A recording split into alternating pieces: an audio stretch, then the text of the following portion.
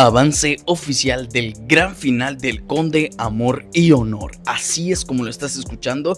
Próximo lunes, gran final, donde vemos a Ricardito y a Teresa reaccionar de una manera aterradora a algo que están viendo. Mientras tanto, Josefina de rodillas ante Gerardo Villarreal, suplicando por su vida, mientras lo llama traidor. Mientras tanto, de igual manera, Mariana Zambrano enfrenta a Gerardo Villarreal amenazándolo vas a terminar pagando por todo lo que has hecho.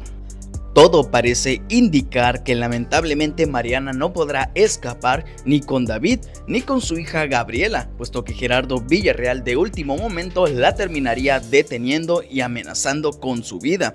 Más tarde veríamos una nota, un letrero de Se busca Pedro Campos, así es el conde publicaría estos carteles donde se busca a este ladrón y asesino. Por lo tanto, hay que estar pendientes a la detención y al gran final de Pedro el falso marqués Francisco de Mendoza. De igual manera, Pedro acabaría con la vida de Antonio por órdenes de Josefina de Zambrano. Tristemente, Antonio le va a llegar su hora. Y asimismo también tendríamos un enfrentamiento muy pero muy brutal entre Gerardo Villarreal y el Conde de Montenegro. Esto y mucho más en el gran final del Conde Amor y Honor este lunes.